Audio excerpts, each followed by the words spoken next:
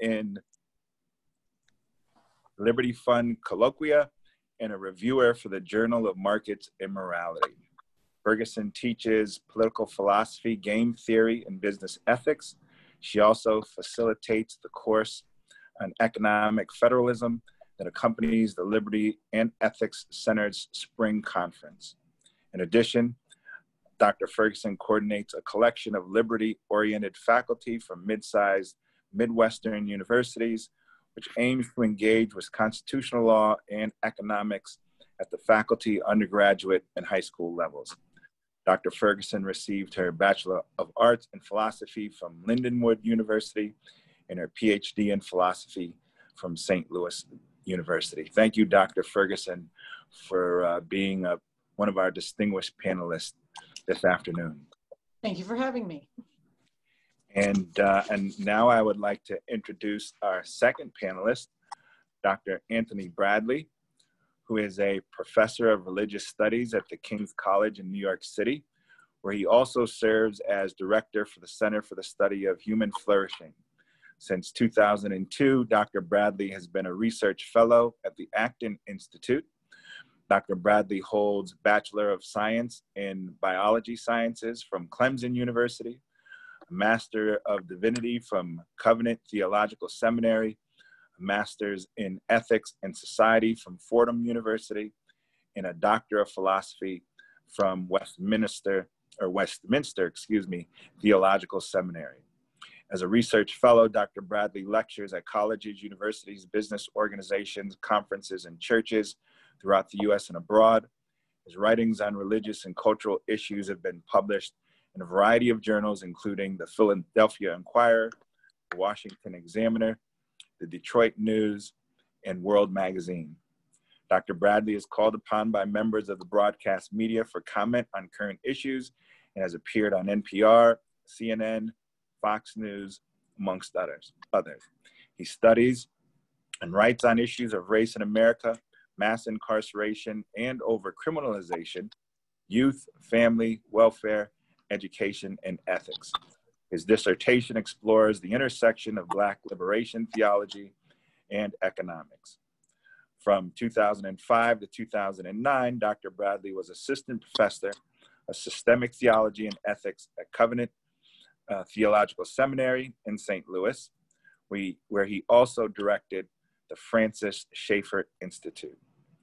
Dr. Bradley is the author of several books, including The Political Economy of Liberation, Thomas Sowell and James Cone on the Black Experience, Black and Tired, Essays on Race, Politics, Culture, and International Development, Liberating Black Theology, The Bible and the Black Experience in America, Ending Overcriminalization and Mass Incarceration, and co-editor of John Rawls and Christian Social Engagement, Justice as Unfairness. Thank you very much, Dr. Bradley, for being one of our distinguished panelists this afternoon. I'm, I'm delighted to be here. Thank you. So we're going to get right into it, and we have a few prepared questions that we're going to ask our panelists, but the viewers We'll also have an opportunity uh, to submit comments, observations, and questions uh, if we have time toward the end of the, um, um, the discussion. We will present those to our panelists um, for response. So um, we're going to start off with Anthony, and the first question um, is for, for Anthony. Um, Dr. Bradley, the George Floyd protests and Black Lives Matters rallies across the country were particularly intense this summer. What are some of the issues activists from Black communities are hoping to address as it relates to race and policing? Yeah, thanks uh, so much for having me. I'm, I'm delighted to be a participant in this in this conversation. Um, uh, you know, so so much has happened over the last uh, few months, and there's been this convergence of multiple conversations and I think what, what essentially happened in Minneapolis was the conversion of our country's legacy of wrestling with race issues, uh, but also our struggles with the criminal justice system. and those those uh, collided in in Minneapolis. And so, what people are actually hearing uh, much from the Black communities across the country are opportunities and invitations for us to address, on the one hand, issues of, of police brutality, uh, overcriminalization, the force of the state, uh, and then secondly, the ways in which we have uh, and, and, and need to deal with some of our uh, histories and, and complications uh, regarding race. What's particularly interesting in this context, though, is I want to focus really on this on the strain of overcriminalization and mass incarceration.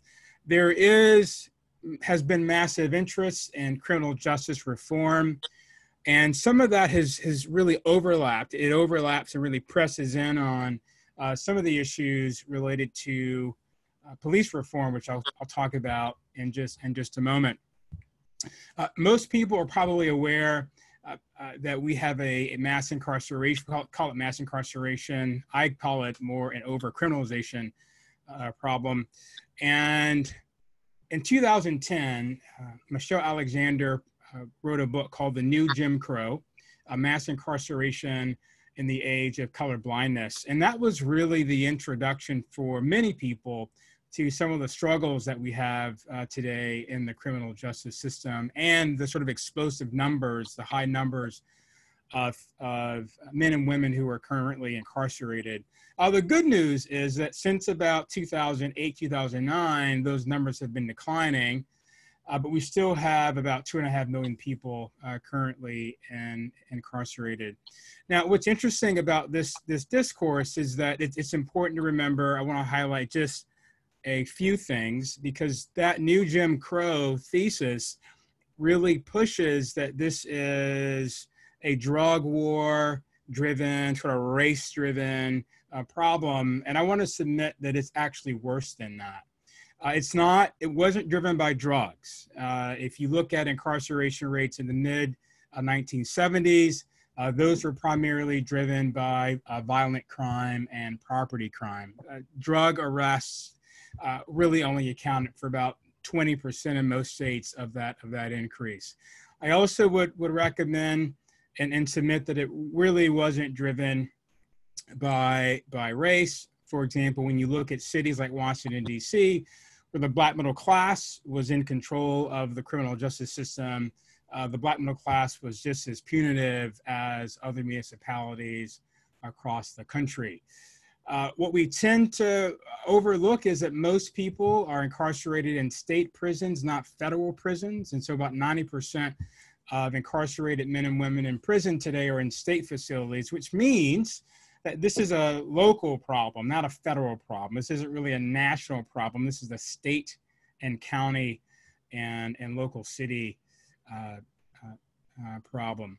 Uh, so, so, oh, and, and, and by the way, it's also not an issue of private prisons. Private prisons only account for about 8% of all the prisons uh, that we have in this, in this country.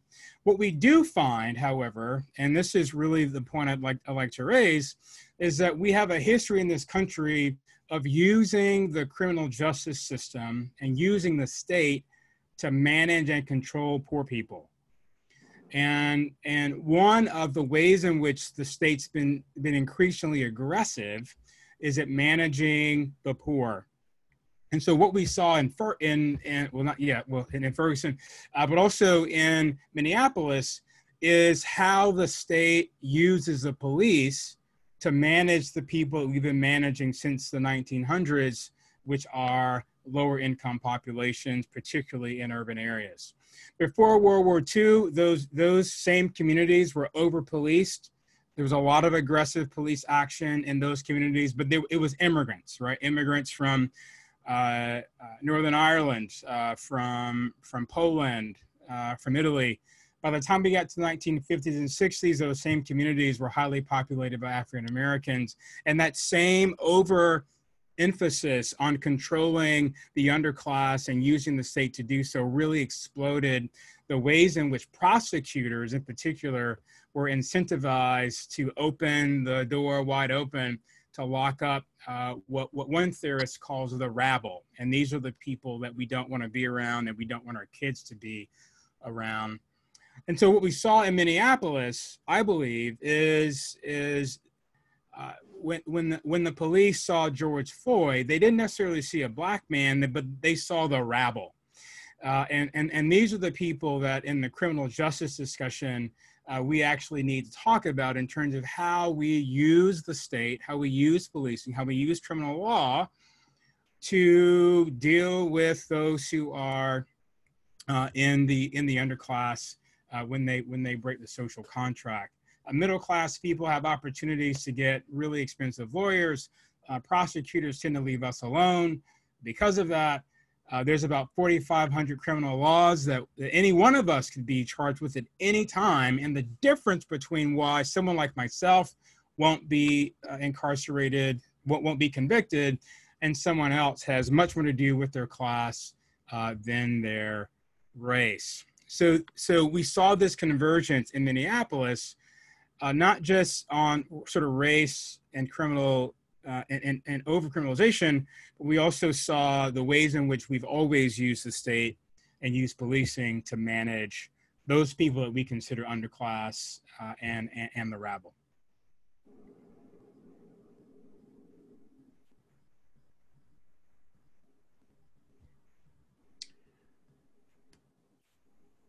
Might need to unmute yourself there, Ron. There you go. Yeah, thank yeah. The host had to unmute me. Sorry. Um, I thank you very much, um, Anthony, for that response. Dr. Ferguson, do you have anything that you would like to add? Oh my goodness. Uh, that's so insightful. And there's a lot of, um, I think, mythology around this issue. So it's really helpful to just drill down on the actual data and see what's going on. Um, I'm not nearly as much of an expert as Dr. Bradley is on criminal justice reform, but I will say that one of the things that has really stunned me is the arbitrariness of, of uh, aggressive prosecution. Just how much control the prosecutor has over what they want to go after, what they don't, how they want to construct the um, the process. And uh, I don't think a lot of people necessarily think that. And I, the other thing that I think people easily overlook is that the police are being asked to enforce all of these laws, which puts them in a position to have constant negative contact with community members. Um, and that just builds that feeling of distrust. And so there's something bigger and more structural going on than just this cop or that cop and his feelings about uh, you know one race or another. It's it's it's much much bigger than that. So I, I agree. Thank you, Dr. Ferguson. On to the first question for you, Dr. Ferguson.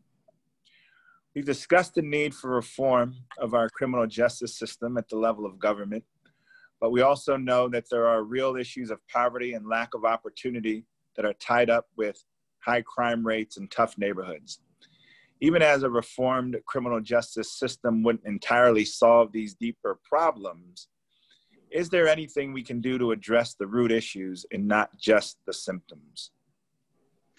Thank you for that question. Um, so I do think that there are things that we can do, but we have some mindset problems. Uh, just the way we tend to construct these things in our minds that we have to sort of undergo a paradigm shift. And so um, let me just address two of those, and then I'm going to talk about what I really think the solution is. Um, the first one is uh, it has to do with Dunbar's number. If, if you guys know the term Dunbar's number, that's kind of the number of people you can have like one human being can have stable relationships with just given our size of our brain you know and how many people we can spend time with and they say it's about 150 uh, and then of course who i can be very close to is maybe only three or five uh, who i can have in my circle of friends maybe 12 or 15 and that's about average for human beings and what that means is that we there's a natural scale for community building, and the natural scale is going to be at the level of the neighborhood, not the nation, not the state, not even the city, the neighborhood block that you live on. Um, if you're going to build something positive. The second mindset issue that I want to address is sort of this notion that there's, we might call it one thingism the idea that there's this one thing that needs to be solved and it depends on which side you're on but it's always one thing. So uh, so progressives may emphasize money um, uh, conservatives might emphasize family structure etc and the idea is if we could just fix this one thing uh, we would solve the problem. But the truth is is that people who are in persistent poverty i don't mean something temporary but something persistent um, that's usually a very complicated situation. There's a lot of things going on at the same time. And some national policy that where you push a button isn't going to uh, isn't going to solve that that complex of issues. And so we've got to resist that mindset and uh, think about the whole set of issues that may be going on educationally uh, with you know violence in the neighborhood opportunities etc and so the Reals uh, stable solution for tough neighborhoods, I believe, has to be holistic and organic. Centralized policies can remove obstacles. Uh, criminal justice reform is a good example. We, not at the nation, but at the state or city, you can remove uh, very difficult obstacles out of the way, but that's not the same as building something or repairing something that's been lost. And so when we look at healing um, a destabilized neighborhood, and I'm thinking of a neighborhood where you know more than than 20% of the homes, for instance, are abandoned. That's going to be a fairly destabilized neighborhood. Then you you can't do sort of quick fix, push button, top down solutions. It's got to be local, person to person, decentralized. So a couple of the classic works on this idea are uh, the book When Helping Hurts uh, by Fikkert and the book uh, Toxic Charity by Robert Lupton. Uh, these are both community builders on the ground talking about their own experiences of the way that our philanthropic models are set up. And the, the observation is that they're set up to undermine the dignity and the personhood of people who are in poverty. Um, and so there's a couple of basic principles here, and really we could apply this to public or private. They're talking about private, but I think it's, there's a lot of similarities. One of them is that it's imposed from the outside. So I have a solution. I think I know what's best. I'm going to impose this from the outside. Then our neighbors are not consulted as to what they would like to see happen in their communities, not consulted about what ideas they have. The assumption seems to be that they don't have a contribution to make. Um, we might call this a kind of savior complex. And we've set up a system in which that makes it kind of a full-time job to be poor. So you you go from thing to thing where a philanthropic group or the government has set up separate compartmentalized programs to deal with this or that thing. And a poor person spends their days navigating these systems while having to present themselves as having nothing to offer. That's, that's how the systems are set up. None of these systems are set up as a dignifying exchange of goods and services. And so this philanthropic model reinforces a savior mindset on one hand and a poverty mindset on the other. And it's a vicious cycle in which uh, very few people are actually emerging from poverty. They may be surviving, but they're not emerging. And we have to look at the incentives, look at the way we set up our programs uh, when we report, for instance, to donors. We've helped this many hundreds of people this year. Um, so the bigger the numbers, the better, right? Um, so I want to flip that totally on its head. And I'm going to use your, it's your lucky day, Ron, because I'm going to talk about Love the Lou. I'm going to use them as my example just to give you guys something concrete, but this is happening in Atlanta with focused community strategies. It's happening in Chicago. There are other groups doing these same types of things. So my friend Lucas Rugley is the, is the director of Love the Lou in St. Louis. He lives on Enright Avenue. He, he moved there. So he lives there and he's been there for 10 years. This is in the Van Vandeventer neighborhood.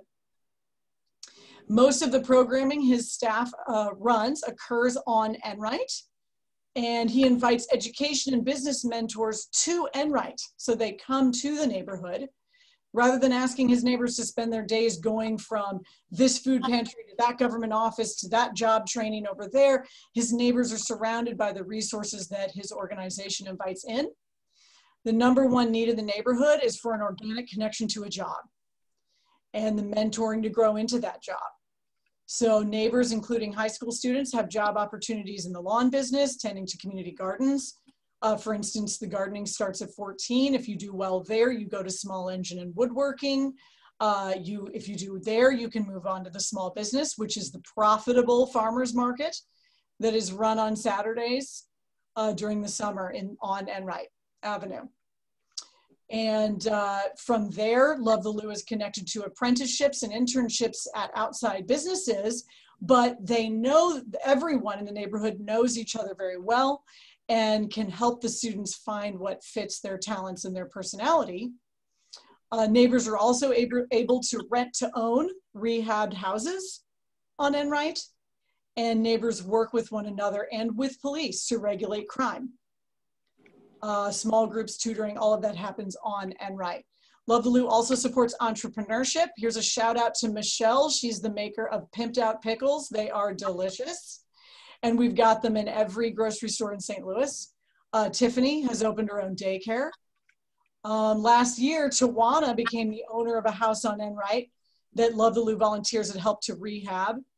And she makes payments to Love the Lou.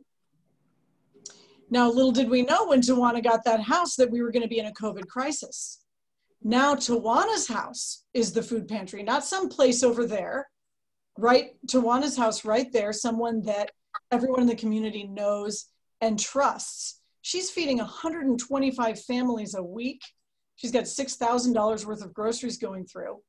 But it's different from just a handout because these are people who she has relationships with. She can talk to them about what's going on in their lives from day to day. And she has become what we call in Love the Lou a person of peace uh, in the neighborhood because she's like an anchor of stability. Um, and she creates a vision for people that they can see where they can be headed. And, uh, you know, it's important to note that the food pantry, for instance, just happened. You know, it's, it's not something that anybody had planned. It organically arose because of the needs that were coming along with COVID and uh, programming was shifted over and, and put towards that.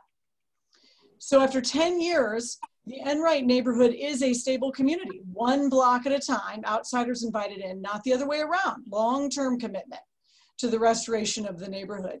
Today, out of 50 students that started with Love the Lou, 45 have stayed in the program, which means they've avoided gangs and they're finishing school. Crime is way down. Love the Lou is only now, after 10 years, taking on the Kingsway West neighborhood. That's the next project. And this is exactly how Lupton did it for neighborhoods in 40 years in Atlanta.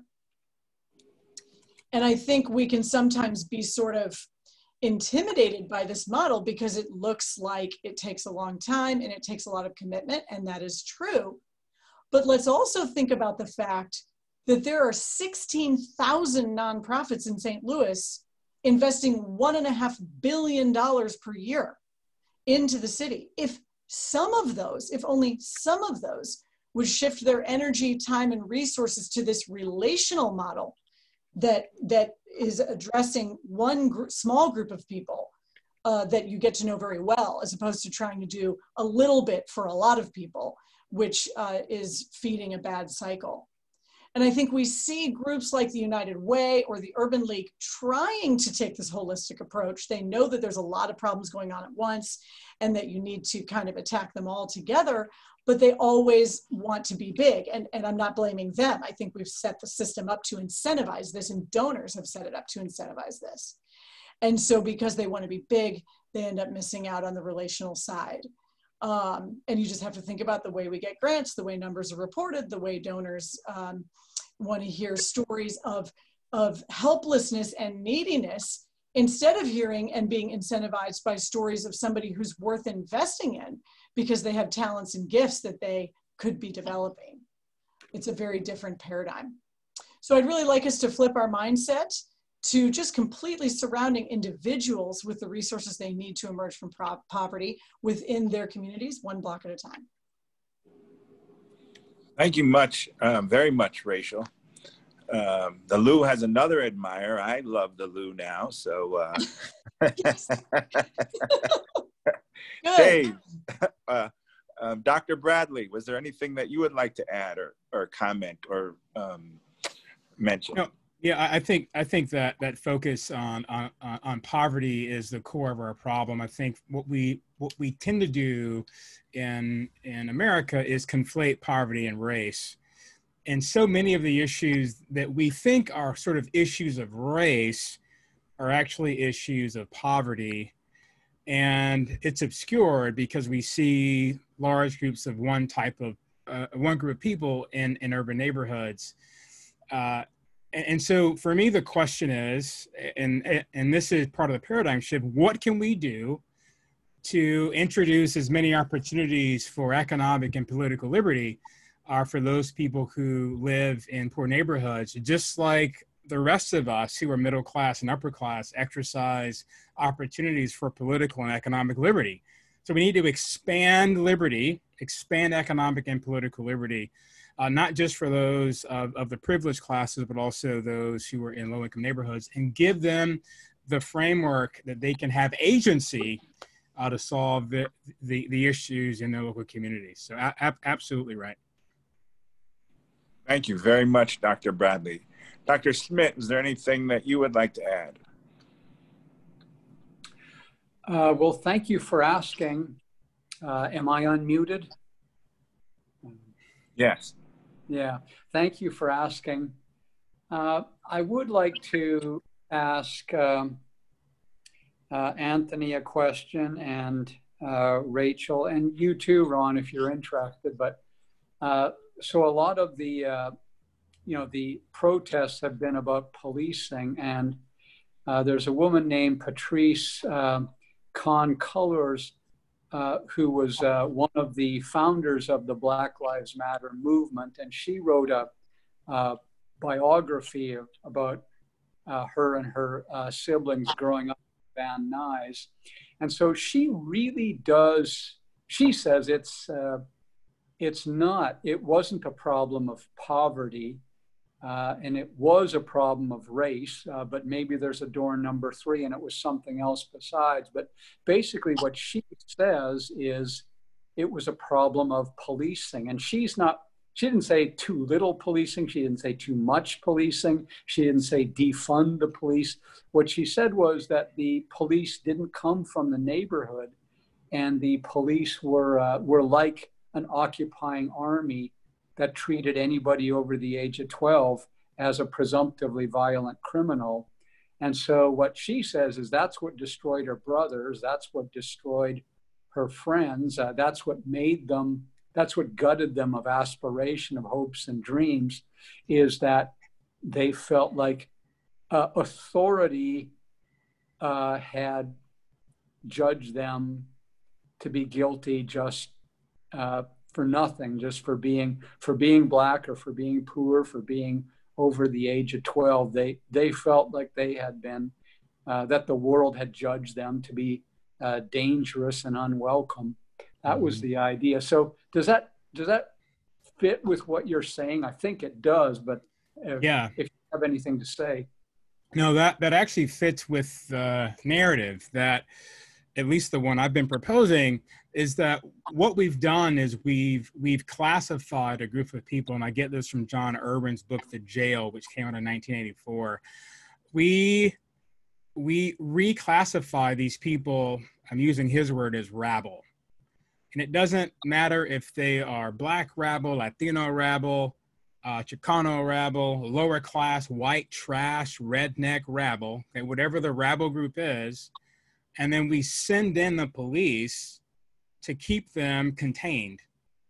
And and in inner cities, what we do, what we've done is we've sent in the police to keep them contained in the inner cities. And so in one sense, she she's exactly right. Now, what's also interesting, though, is that if you look at the whole history of policing, uh, it's not necessarily the case that you would get better policing from people from the neighborhood. In fact, uh, sometimes people from from their own communities tend to be more harsh with people within their own uh, uh ethnic groups. But what really matters is is is how one views the humanity of people that they see on the street. And whether or not those people have inherent human dignity, whether or not whether or not you see them as having agency, as whether or not you see them as as opportun as as men and women that have opportunities to to have agency and express economic and political liberty. Do you see them as as potential participants in the common good or not? And the verdict when we move into some communities, whether it be a, a trailer park in Appalachia or an inner city in Chicago, is no they do not.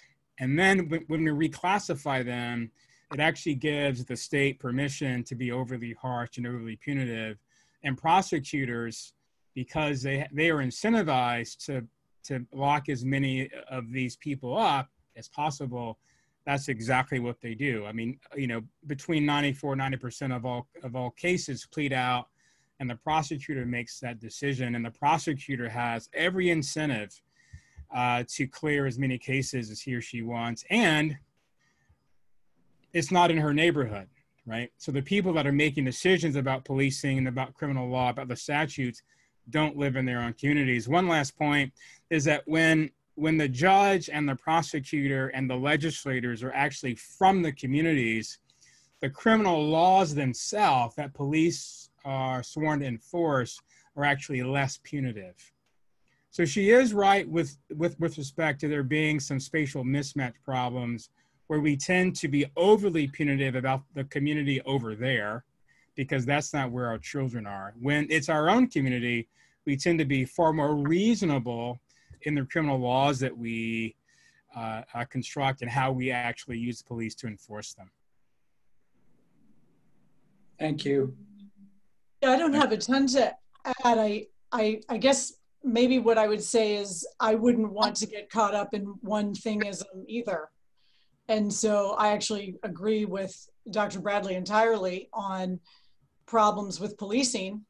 Um, but it's also true that that sense of a feeling of a lack of agency can come from feeling like you have no economic opportunity as well. And so all of those things are going on at the same time issues with family structure going on at the same time. That's a huge temptation of the gangs, right?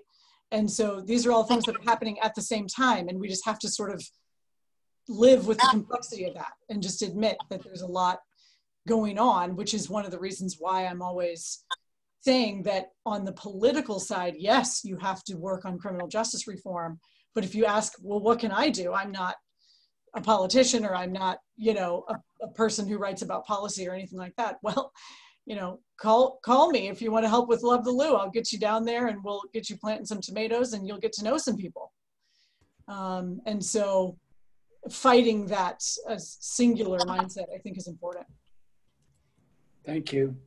Yeah, thank you very much. I just have one brief comment, and that's, and we all know this, that law enforcement officers and police um, stations do not operate in a vacuum. And so when we talk about justice reform, um, it's not just law enforcement officers and prosecutors, but it's also the judges, the jurors, the probation officers, parole officers, as well as the prisons that need to uh, be examined.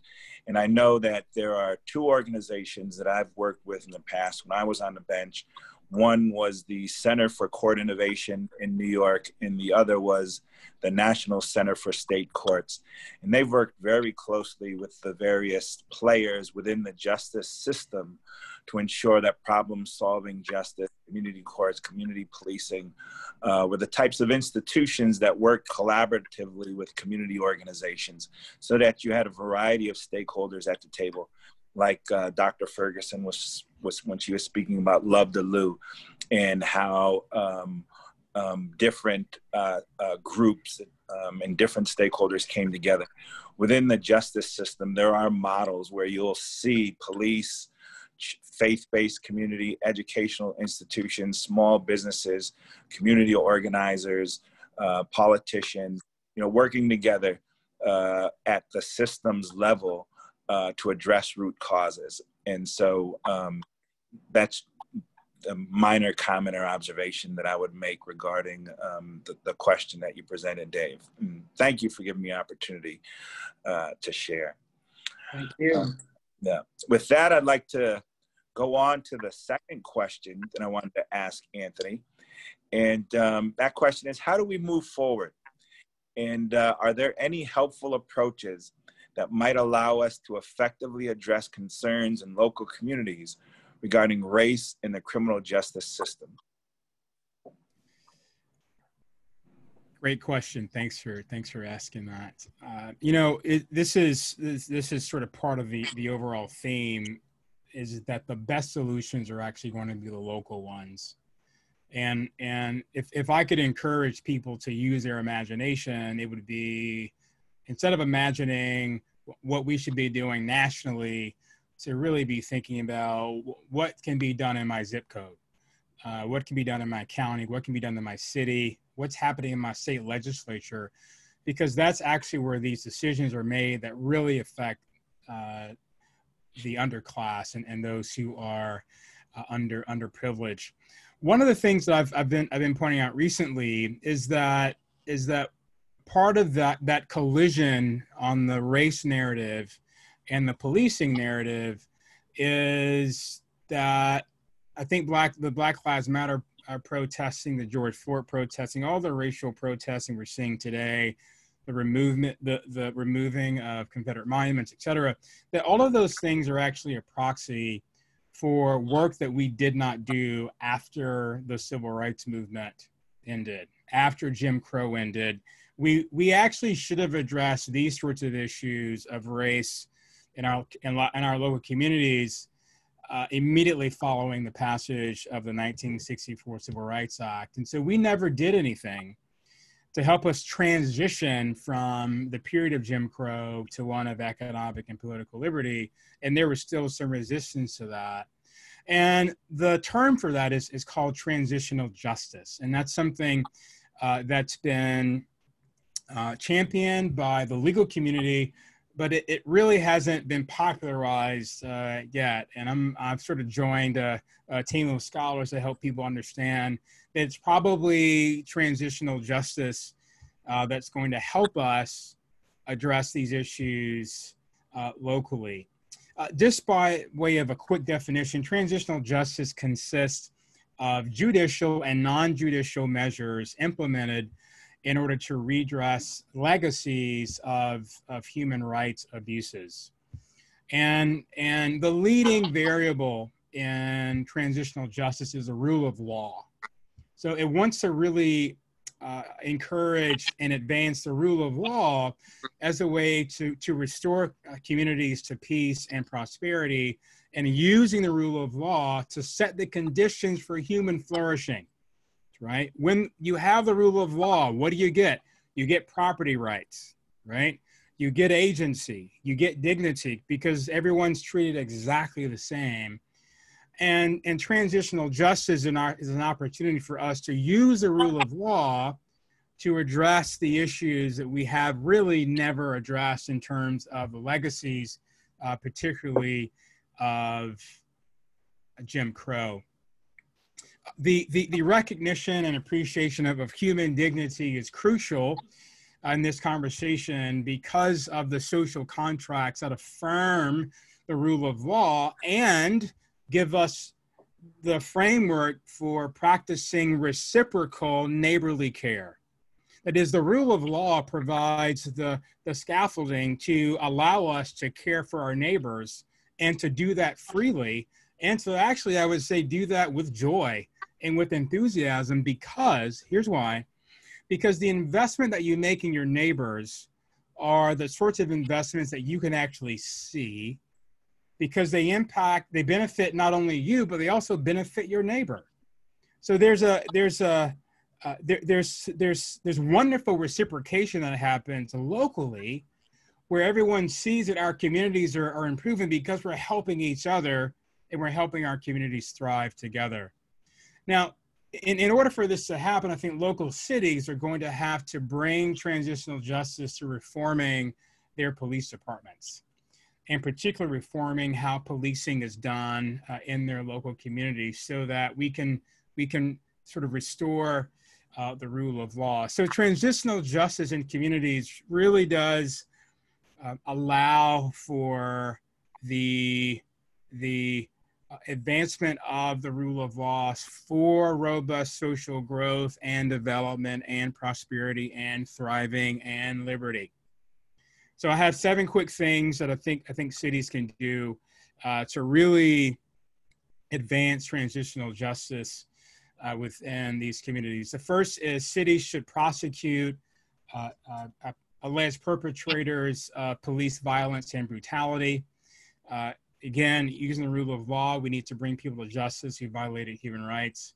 Uh, secondly, cities should encourage uh, formal investigations of human rights by police by using truth commissions and other bodies. So, to give citizens and communities opportunities to tell stories of what actually happened, how their rights have been violated, and to put that on record. We have to get these things on record so that so that our our pursuits of justice are about particular issues, not justice in the abstract. You want you want these remedies to be about things that are that are uh, specific. A third, uh, victims should be acknowledged, and they should be given opportunities to have any any remedies uh, introduced to repair any damage that's been done in the past. Uh, fourthly, a city should implement vetting policies and sanctions to remove people that are corrupt uh, from uh, decision-making authority in local communities. Uh, five, a city should support official programs and initiatives that, that remember past victims, remember those injustices, but also to educate people about what happens when the rule of law implodes and it's the rule of men uh, and and to keep that history uh, fresh so that we respect the sorts of institutions that allow for uh, human flourishing. Uh, six, and this really brings us back to the ways in which we've ha been having this discussion today. A city should support and respect traditional and religious approaches regarding past violations and activate civil society so, uh, uh, institutions like churches and nonprofits to facilitate peace and human flourishing and reconciliation and thriving, right? We need to get all the community stakeholders from all uh, uh, aspects of a local community together to help think about ways the, the, the ways in which they can work together to address some of those histories. And lastly, here seven, uh, sh- a city should engage in police reform to support the rule of law, uh, restore public trust in policing, and promote constitutional rights and support uh, good governance.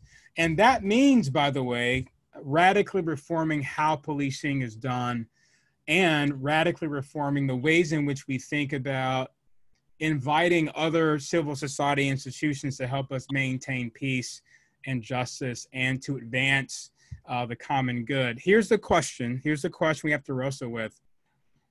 Do we have to throw someone in jail every time they do something bad? Right? Because what we do in this country, if we're mad at people, we just lock them up. And and the invitation is can we use the other institutions of civil society to address some of the issues when there's breakdowns in the social contract that do not involve the criminal justice system and, and policing. But that's a conversation that has to happen at the local level because the issues that led these communities to imploding in the various ways in which they did are local narratives. So I'm from Atlanta. What happened in Atlanta's history is different even than Birmingham, than in Tucson, than in Compton and Chicago and Detroit and and um, uh, in uh, Goldsboro, North Carolina. Right. So so local communities really are invited within this framework to use the rule of law uh, to allow for the sorts of, of remedies that allow people to flourish and thrive. And we need more of that and less of a focus on the on the magic that might happen uh, some would say from Washington D.C. I think I think we need to sort of reimagine, reengage our citizen participation, and pay attention to our city councils, our county commissions, and what happens in our state legislature. Thank you, Dr. Bradley, for that answer. Um, and I'm um, very glad to hear you mention alternatives to incarceration. Uh, in this country, we have a significant number of homeless people, veterans, and those suffering from mental illness who are incarcerated for quality of life crimes.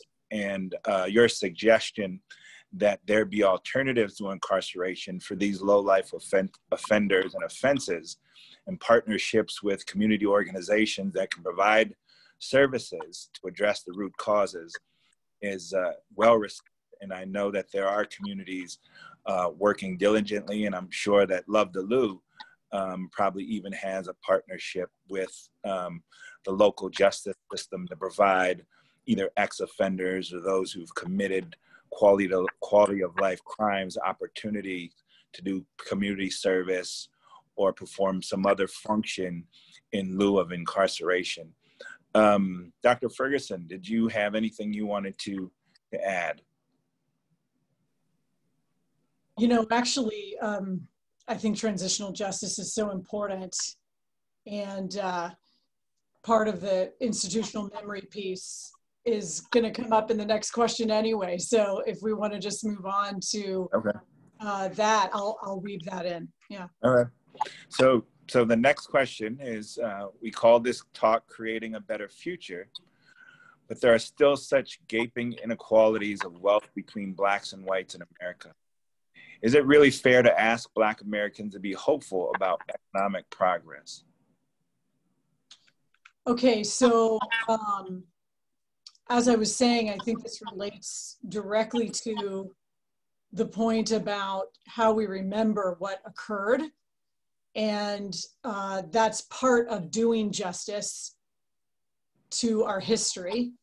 Um, if you have time, uh, you could read this book, The Color of Law, by Richard Rothstein, um, who goes over a lot of the uh, history of zoning and FHA redlining. Um, if you don't have a lot of time and you want to just, this is going to sound ridiculous, but if any of you remember Veggie Tales, Bob the tomato from Veggie Tales, that guy's name is Phil Vischer. And he did a uh, excellent 18 minute long uh, video, which you can just Google, um, you know, Bob the tomato racism or something like that, uh, where he takes a look at the structural uh, problems that occurred historically, everything from convict leasing to redlining and everything in between. And he does a really good job of, of saying it all very quickly. Um, so in under 20 minutes, you can get kind of a summary of that. It's incredibly important that we acknowledge this. It doesn't explain everything about the disparities between whites and blacks, but it certainly explains a lot. And just just admitting that that's what happened, I think, is really important. Um, on the other hand, I think it's incredibly important that we stop perpetuating the stereotype of associating uh, being Black with being poor. So if you go back to 1940, 89% of the Black population is living below the poverty line. By 1960, it had dropped to 41%.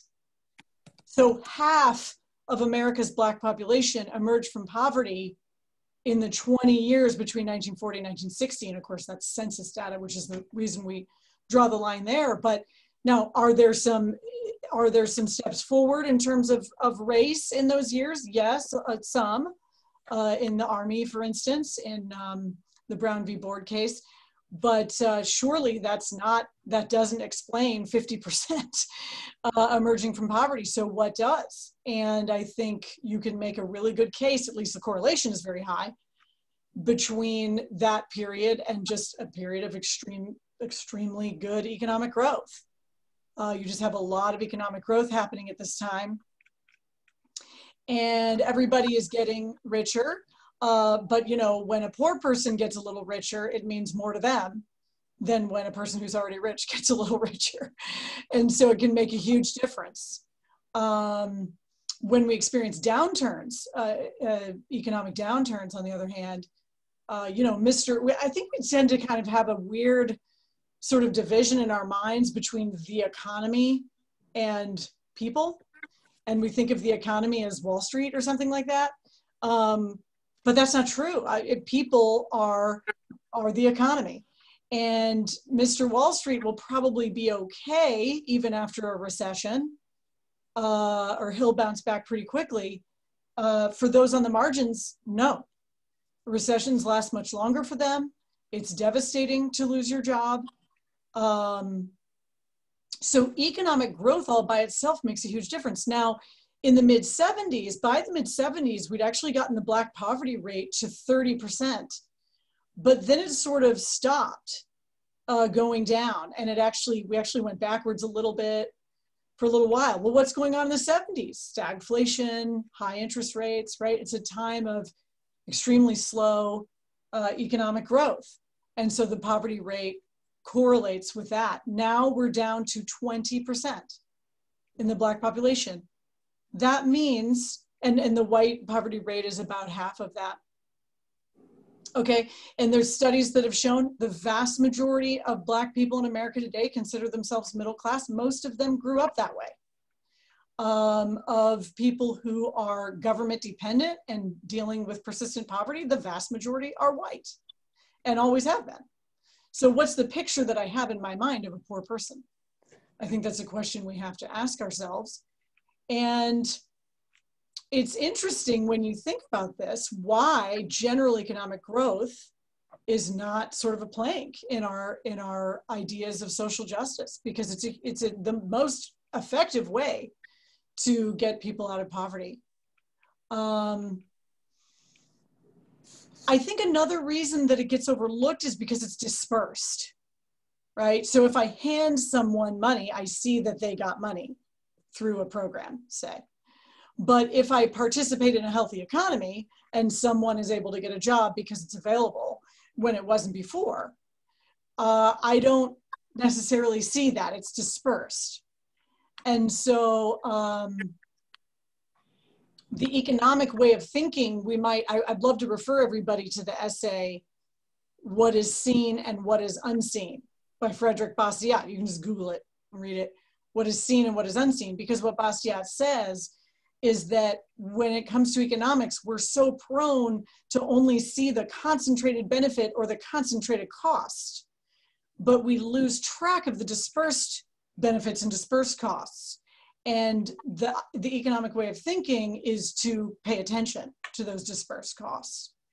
And so I think we need to um, notice that we have made an incredible amount of progress on poverty due to simply growing our economy um, uh, in general, and that we need to be really sensitive to that as an important plank in any efforts that we make to, uh, to deal with uh, poverty as it continues. Thank you very much. Um, one thing, real quick, I wanted to um, ask you as a follow up question, um, Dr. Ferguson, to the um, uh, to the wealth inequalities. Is um, do you see a correlation between the wealth inequalities in the educational inequalities or the healthcare inequalities in the African American communities as it compares to the white communities? Yeah, absolutely. And so this actually ties back into transitional justice as well when uh, Dr. Bradley was referring to the traditional uh, and religious civil society institutions. I think that our education system uh, works okay for many people, uh, but clearly does not work well in our inner cities. And um, if you look at the Pew Research data, people of color, both Black and Latino, are in the in an overwhelming majority are in favor of educational freedom. And this recent Espinoza case, for instance, that just happened, we'll see how it plays out in the courts um, for uh, other opportunities. But the I, I just wrote an article a couple weeks ago on the bridge called uh, John Lewis Learned Good Trouble from the Black Church. And I argued in that article that the Black Church is beautifully placed to be running inner city schools Um, and if funding followed students rather than going into systems, you would see a renaissance. I truly believe in education. And one of the reasons for that is because you'd have different models for different situations. As we said before, it's local. And it depends on sometimes even the specific child, right? You can have children with difficult situations at home. You can have a different child who just has, uh, you know, a learning disorder. There's all sorts of things that we run into in education. And having different models where students are able to find what they need for themselves, I think is incredibly important. And we have, we are spending an incredible amount of money on education, something like on average $15,000 per student per year. Uh, but a lot of it's going to administrators, uh, a lot of it's going to bureaucracy, and it could be spent in a and allocated in a far more effective way if we would allow, I think, choice and agency on the part of, of parents. Um, so, yeah. Thank you very much. Um, Dr. Bradley, was there anything that you would like to add? Yeah, I'll just I'll just say this really quickly because I'm I'm eager to get to people's questions. Um, you know what what's what what we see particularly in this question. I'm always frustrated because the sort of white black comparisons rarely control for class, and and what what we find, and this is something that that William Julius Wilson really did a good job of in the 1990s, is really explain how the black middle class has really done well uh, it's really been the the black underclass uh, that we see really stuck in these really in, in, these sort of broken broken systems. So when you talk about correlations between race and healthcare disparities, education disparities, et cetera, um, the black middle class thrives in the same way that the white middle class does because they invest or invested in very similar institutions, marriage, fatherhood, uh, the Kiwanis Club, the Boy Scouts, uh, good schools, the church, etc. When you compare sort of the sort of the uh, underprivileged blacks with underprivileged whites in say Appalachia, Arkansas, South Alabama, you see the exact same trajectories in terms of their schooling, uh, healthcare outcomes, uh, uh, etc. And that may be why the image of poverty in the 1940s was actually rural whites as, as opposed to urban blacks, and, and that, that image has been, has been shifted. It's a chicken and egg discussion. Is it a race thing or a class thing? Uh, if you look at the history of how the country has has related to poor people, I'm going to argue that it's been class because it's been that way uh, in the white community since uh, the, the mid 18th century what we saw is that that was exacerbated by race and racism. It made it made the sort of class distinctions uh, even even that much worse. So focusing on on economic and political liberty uh, for for for uh, the truly disadvantaged, both in inner cities and, and rural Americas, will, will really do us all uh, a social good. Thank you very much, Dr. Bradley. Dr. Smith, um, at this time I, we've received several questions from our audience. Uh, would you like to um, ask our panelists a few of the questions that have been presented? Uh, yes, uh, thank you. Uh, let's let's do that. Let's jump in. So uh, uh, but Ron, um, first, something that I've heard you say, and you've credited Frederick Douglass with saying this. You've said it's easier to grow strong children than to repair broken men. So, part of what uh, I think uh, Anthony and Rachel, in different ways, were both getting at is uh, is that we're we're at a, a stage where we have to ask what is strength? What is it to be a strong child? And um, and at least uh, I I think it's something about believing in yourself. It's something I think I've heard all of you say this. I've heard you say this for sure, Ron. It's something like accepting as a joyful challenge the possibility that this world can be better off with you than without you. Um, so I guess I have a question though. Is, is, is there a stigma associated with teaching kids that they have a lot to look forward to, that they're not broken, they don't ever have to be broken, that the next generation, including them, can take humanity to a different level and it'll be partly because of them. And as a matter of fact, that's what's expected of them. Is there, um, is there a, is that what they need to be taught? And, um, and is there a way to teach them that? Uh, can we can we honestly say that to them? Can we make that true of the world that they're growing into responsibility for? So I'll uh, that that's one idea. Yeah, can I? Can I, I'll, I'll just address that really quickly. Uh, my my my mom spent her entire career uh, teaching special education in inner city Atlanta. Uh, and and raised in Jim Crow, North Carolina. My dad's from Jim Crow, Alabama, and education was a massive part of, formation in the Black community by Black teachers to Black students.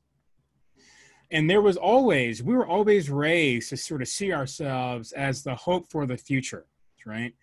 Um, and I, I, think I think what happens in, in a lot of inner cities is that that message is being communicated by many teachers, by relatives, but it's undermined.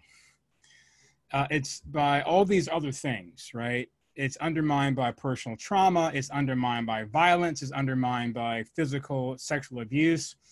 Uh, it's undermined by the absence of, of economic opportunities in their local communities and those messages really do uh, uh, uh, you know sort of take on flesh when a child can imagine the space in which that can happen but when you're looking in your neighborhood and you don't see where you can do that it goes in one ear becomes something imaginative and out the other and so what does it mean for us to not only say those things but also provide real opportunities for students to experience that as we teach it. There may be a place for them to land to to experience those things. That's the challenge I think that's before us today, particularly in, in low income uh, communities. Yeah, I'll jump in just real quickly and say, you know, I remember a colleague of mine. I was talking to him about Love the Lou, and he said he he's uh, I believe he grew up in inner city Chicago, and he said, well, you know, how are you going to talk kids out of joining the gangs, you know, when that's sort of a quick way to, you know, get acceptance and, and uh, how can you compete with that, so to speak. And so I went to Lucas and I asked him, I said, answer this question, you know? And he said, oh, it's not actually hard at all. He said, you know, kids have seen their, their older brothers go, go to prison. They've seen their cousin get shot. You know, they, they don't want that for themselves the reason that they end up in that place is because they don't see any alternative.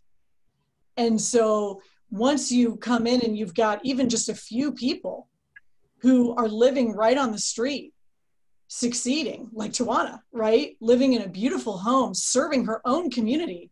Now all of a sudden it's a vision, it's it's the imagination of the child that is now fired, right? And able to see where things might end up. But it can't that's why I want to go back to my original point that some one size fits all sort of program doesn't accomplish that, right? It's, it has to be something person to person where this kid is living down the street from someone that they can emulate.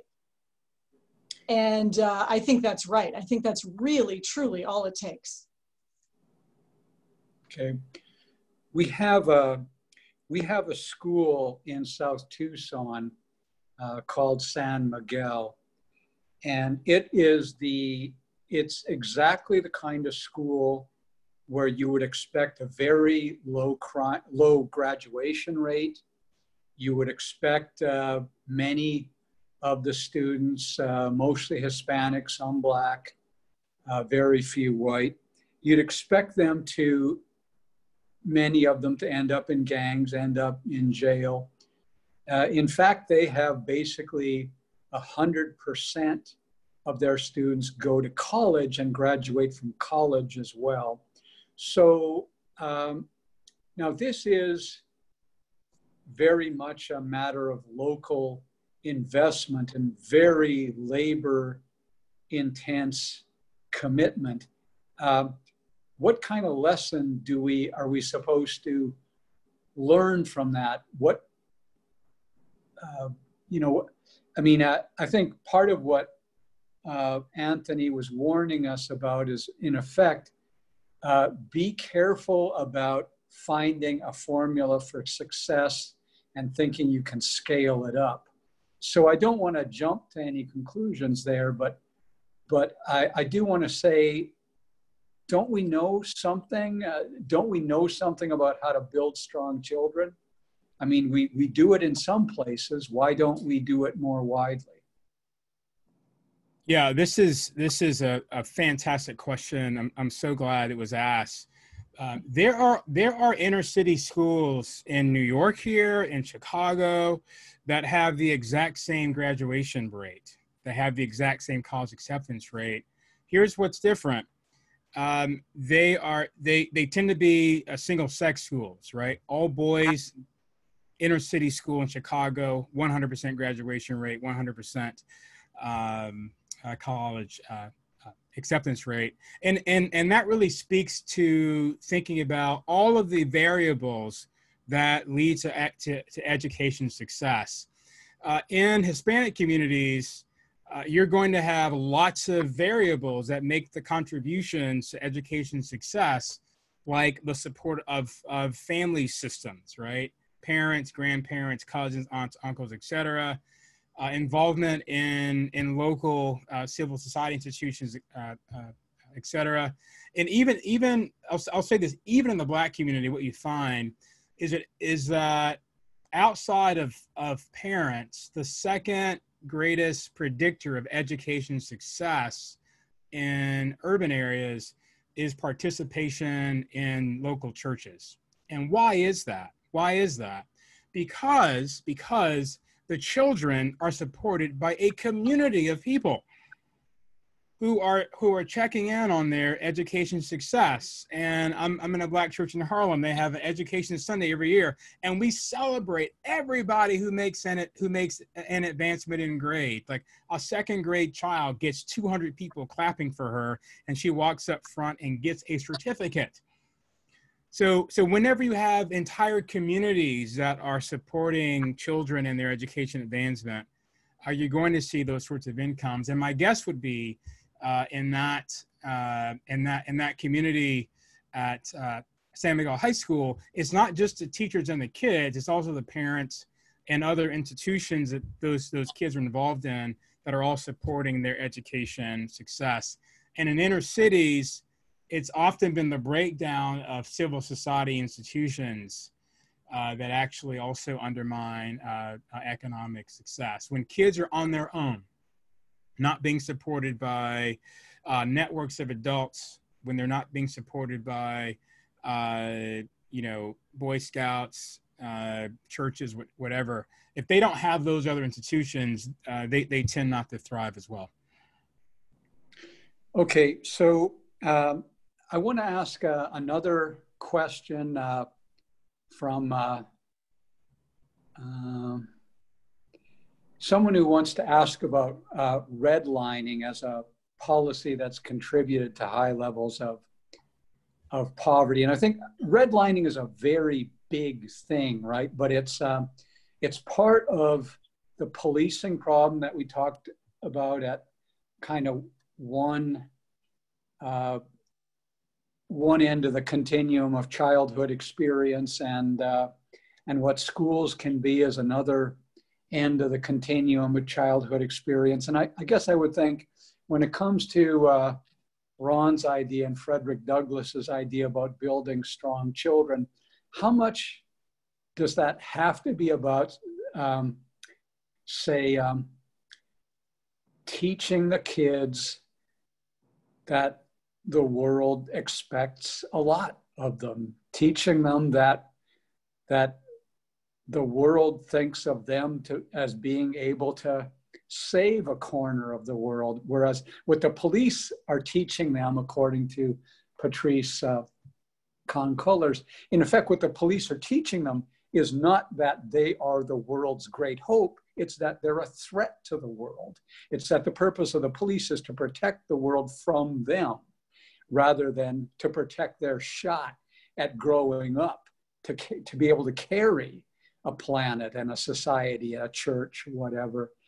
Um, so, so is something like that at the heart of this? Uh, I mean, building strong children is uh, first and foremost believing that they're worth a shot. They're they're worth their own best effort, and they're worth their community's best effort. Uh, and this started out as a question about redlining. So if you can say anything about, are there forms of redlining that really just could be dismantled, and we we'd be so much better off if we did. I just want to jump in quickly with two comments, and then I'm very curious to hear what Dr. Bradley has to say. Um, one is, and I'm repeating myself, but um, you know, another way that we send that same message that not anything is expected of you and, and maybe you're not capable of much is the way we've set up our philanthropic models. And I'm asking, I mean, it's a painful thing. If you are in a church where you know your thing is to stick some stuff into a shoebox and give it to somebody for christmas and you're undermining dad you know who doesn't get to bring his kid a christmas present. By doing that right it's undermining his dignity. You've got to go back to your church and tell them that the way they've been doing things is undermining of people's personhood and dignity and they need to change their whole approach. Um, and so that's a painful thing for people to do but they need to do it. And so it's it's the police but it's also us sending that message to people in the way that we that we show up to them um, and then the other thing i want to say about redlining um, is that one of the i'm sort of repeating myself again but one of the terrible legacies is the way that the school districts, I mean, we, we're already segregated. St. Louis is the third most segregated city in the country. There's a lot of racial pain in my city. And we're already segregated by real estate. And the, the market for education is the real estate market, right? So if you live in a certain neighborhood, you're stuck in that district. So I think if we look at why people are so in favor of educational freedom, even though it kind of goes against our political assumptions, it should be so obvious. This is one way of busting up the segregation that was imposed by redlining, is to be able to get out of that system. Yeah, those are those are those are uh, great points. I would I would add just simply, and this I'm, I'm this is something I, I stole from Thomas Sowell, so I, I won't even take credit for this insight, right? Zoning laws. Zoning laws, zoning laws, zoning laws, right? Zoning laws undermine economic liberty and opportunity. Zoning laws undermine, uh, they actually create barriers to entry for, for, for people to hear the message that you are the solution and that you can go solve this problem over there down the street. But then the zoning laws and, and all and some of the other ancillary agencies in some communities actually present prevent them from act from from doing that right? So redlining on on the on the political side is is has contributed this but also zoning laws uh, keeps our community segregated in, in, in, in ways that actually don't make any economic sense uh, but also tend to increase, uh, sort of uh, uh, inflate pricing, and and block people out from from social and economic mobility. And to your point, to your point, David, it's not only that that that kids uh, should be told this, but they also should not be told that the country's against them right and that's what makes my blood boil is that there's some students in some schools who are who get the message that the country is against them, and that that that that America is nothing but uh, uh, a country of, of, obstacles, and that no matter what they do, the system is actually going to work against them at, at every move. And so there's a bias to actually to, to sort of pushing through uh, what what may have been sort of considered kind of normal life obstacles because they assume that that obstacle is something that's that's against me. And and during the jim crow era you sort of didn't hear this sort of rhetoric right? You sort of knew it was hard. You knew the world was was not a, a fair place. But you know what? I'm going to do what i what, whatever i got to do uh, to take advantage of all the opportunities that I can take advantage of to take care of myself and my family. And that's that's what I, I really want kids uh, to to uh, uh embrace. But we got to take care of these zoning laws uh, so that so that uh, entrepreneurs can actually create opportunities right down the street without having to go through a zoning commission to get permission uh, to do that. There's so many small businesses that local people create in their own communities to take care of their own families, but they can't do it because of zoning laws and, and all sorts of, of regulations like that. Okay, interesting. Thank you.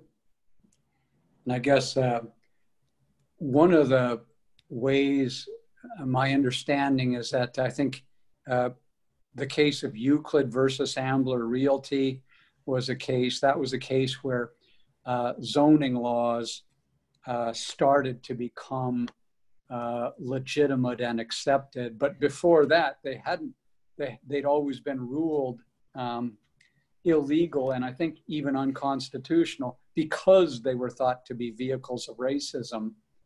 And it sounds like what you're saying is that original uh, concern was not totally out of line. Um, so, uh, what else, Ron? Did you have any reaction to that? To the uh, redlining? Uh, yeah, to the uh, to the redlining idea or the uh, more uh, positive idea, I guess, that there uh, there actually, you know, are obstacles. Everybody has a hard life. Everybody has a hard childhood, but uh, but there are, uh, but some people, some kids face much worse obstacles than others, and uh, and maybe redlining contributes to those obstacles. And then and then the question is, what can you tell a kid despite the obstacles to say, hey, giving up is not a legitimate option here. Your church believes in you, your school believes in you, your neighborhood believes in you, your parents believe in you, your siblings believe in you get on with it. You have great you have greatness and you get on with it. Yeah. Well you know what to me what you just described is two things servant leadership and mentoring.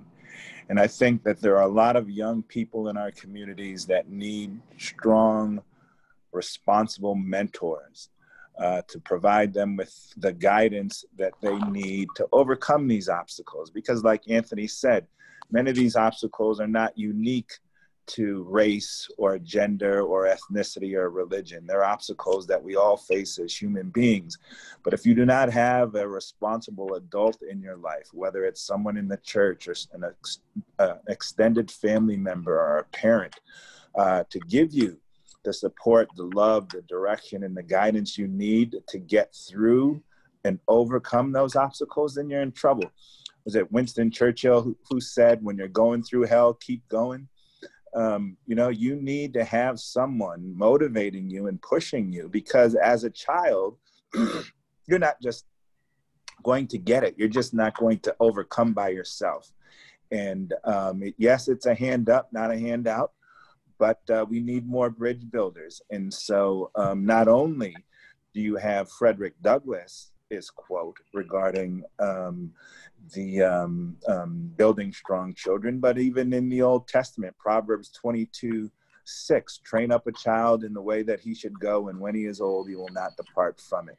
So we have um, um, a responsibility as servant leaders and as community members uh, to pour into our children, to support our children, regardless of their race, ethnicity, gender identification, sexual preference, or religion to assist them and help them overcome these obstacles. And, uh, you know, we talked about the educational system a few minutes ago. There are certain communities where uh, those cities, municipalities, and states spend 10 times more money on incarcerating than people than they do educating people.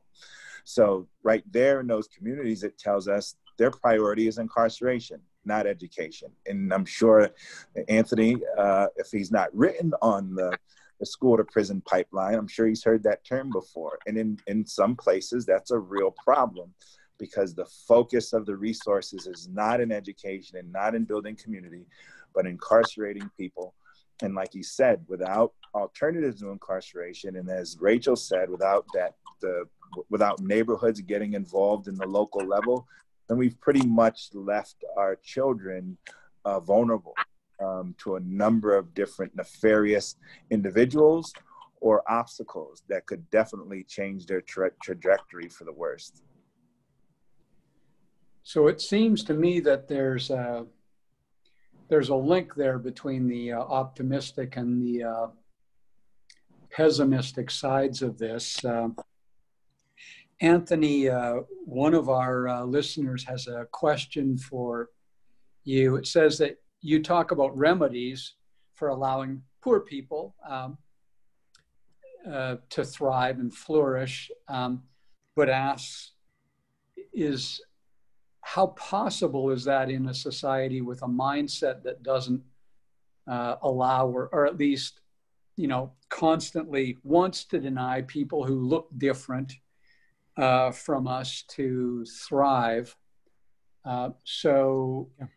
let's yeah i, I think uh, i think you you know you know what the person is uh, is getting at. So there's a there's a constant um, like i said i i um, uh, i think this i mean i grew up poor uh, but growing up i don't think growing up poor and growing up a member of a minority race are the are the same thing. Um, but uh, but it is true that if you don't have information, if you don't have encouragement, that's mm-hmm. uh, that makes that does make a world of of difference.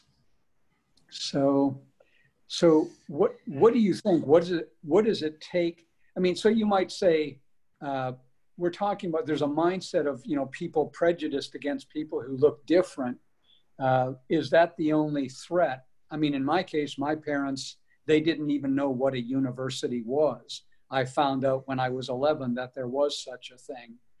Uh, and so it isn't that there was anybody actively working against me, it's that there was no information. Uh, there, there was, you know, if there was such a thing as a ladder of opportunity, nobody knew what it was, nobody knew where it was. And, I, you know, I still found it, it was still okay for me. Um, but you could imagine if I'd been bullied by police, that that might have broken the camel's back. So, um, so is there something? I mean, is is can we take that premise on board and say, okay, if we have poor kids growing up and they're growing up without optimism, the people who the authority figures around them are not optimi- are not optimistic about them, are not encouraging them. Uh, is there something that can be done from whatever level, at a church level, at a state level, at an educational level? Is there something that can be done to, to reach down and grab those kids?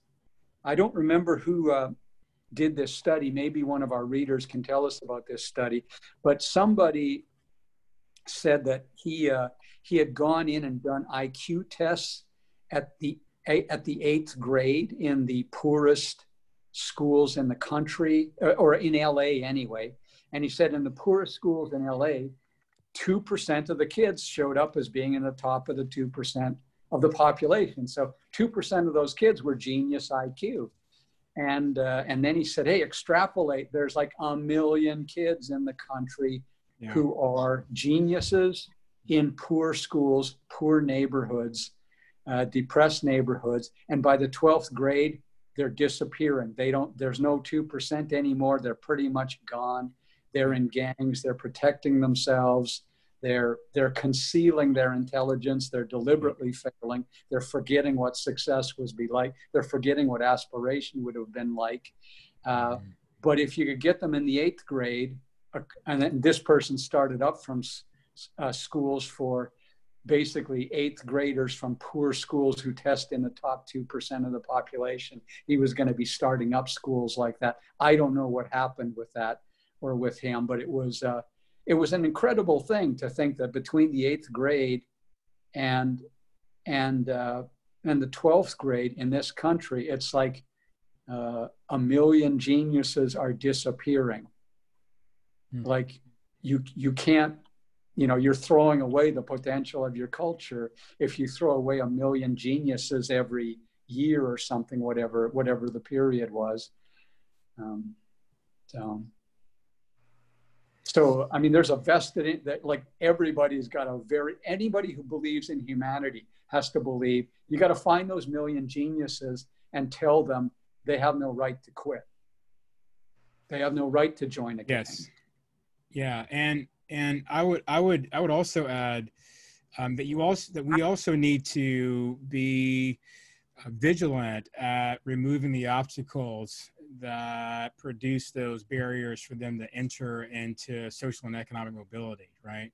So they absolutely need to have imagination. I think Ron is exactly right. Like they have to have guides and coaches and encouragement uh, but they also need to have opportunities. And I think this is why really basic things like the rule of law and property rights and economic liberty and entrepreneurship and things like that, those are the sort of equalizers that, that allow children to have aspirations and imaginations for their future and actually, and actually allow them to actualize them. There's a great magazine called Black Enterprise Magazine and that magazine has done an amazing job of telling these stories, telling the stories of Black entrepreneurship and raising up generation after generation after generation of, of, of business leaders uh, from all aspects of, of, the, of Black community. One of the tragedies of this, one of the, I'll say it this way, one of the unintended consequences of desegregation is that the Black middle class uh, lost its, its, its proximity to uh, the Black underclass and when those communities were in close proximity, uh, David, the the information was transferred uh, because you had the middle class and the lower classes sharing the same social spaces, and so you heard about college, you heard about businesses, you saw them, you saw you saw black doctors, you saw even if you were coming from a poor family, you might be delivering a newspaper to a black doctor and be amazed and think, I want to be like that someday. And how do I do that? And all of these interests in the community did that.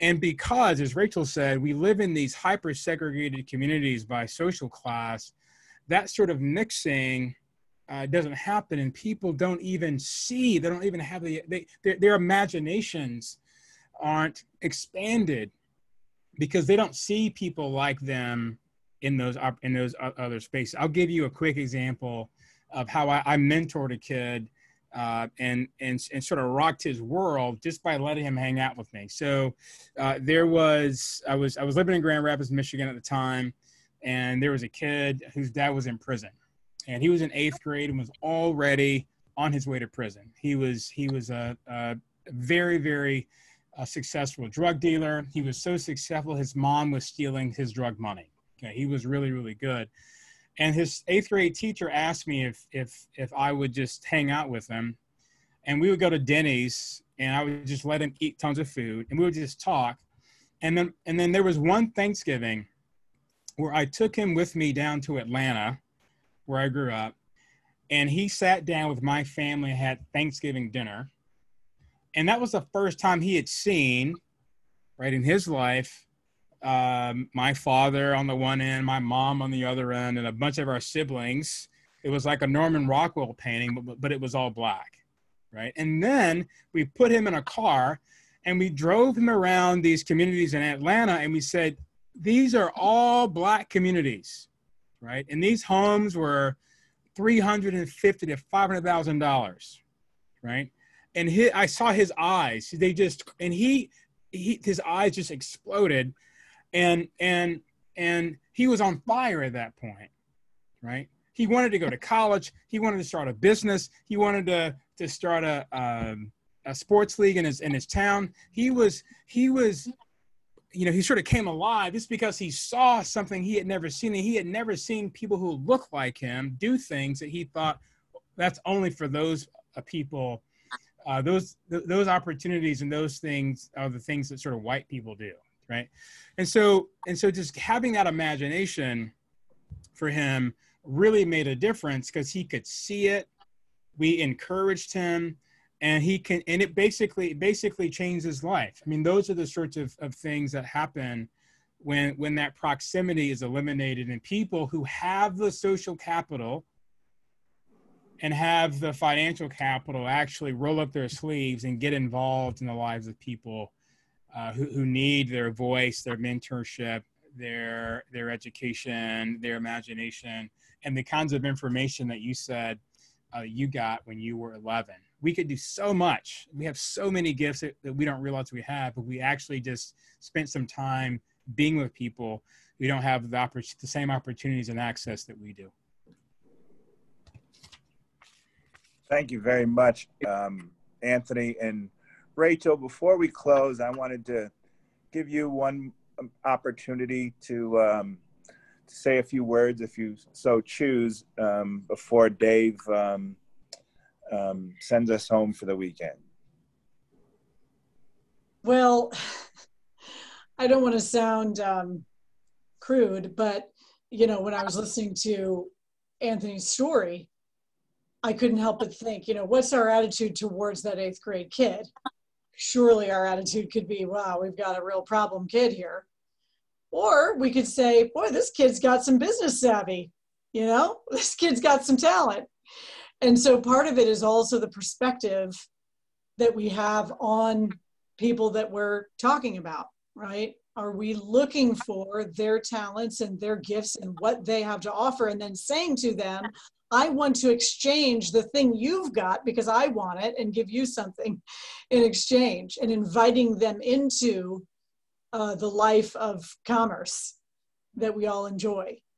Um, so anyway, I just couldn't help but think that when you were telling that story, which is such an awesome story, and and exactly what what uh, Lucas would say about the work on on Enright, which is you know look having a, a house that's being fixed up, see, having somebody you know move in, having beautiful gardens in your community, you being the one who planted them, right? That changes a person from the inside out and it's it's not a matter of needing necessarily more resources and time invested it's a matter of taking the resources and time we already do invest and doing it in a different way uh, in that relational focused way as opposed to the way we're doing it. And i'm just saying to anybody who feels compelled by the case i'm trying to make this will be difficult because you'll have to rethink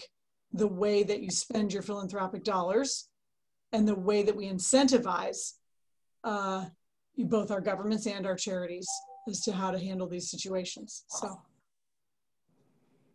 Thank you very much, Rachel and Anthony. It's been an honor and a pleasure uh, serving as your moderator. I learned a lot today. Um, I believe I'm a smarter and better person as a result. Um, hopefully my hair might even grow a little bit as a result of this who knows i can be a i can be a wishing man can a hopeful man um, but dave is there anything that you would like to uh, share with uh, with our participants?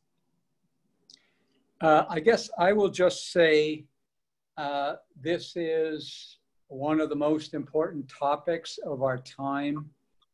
And it is a it is a topic that it's uh, it it's emotionally extremely stressful to uh, to talk about and to risk talking about to risk sharing your thoughts and your feelings Uh, and I know uh, that you've actually, I, have known all of you for a while now, uh, and I know that you've been uh, walking the talk for uh, for a very long time. And uh, and yeah, if I could scale anything up, it would be you.